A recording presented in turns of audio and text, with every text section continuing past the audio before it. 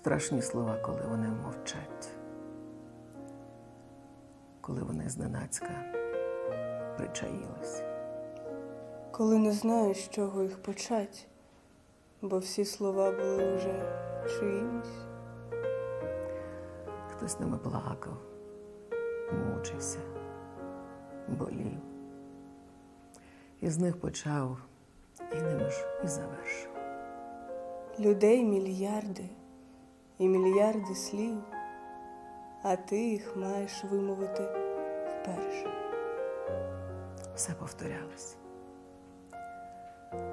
І краса, і потворність. Усе було. Асфальт і спориші. Поезія це завжди неповторність, якийсь безсмертний дотик до душі.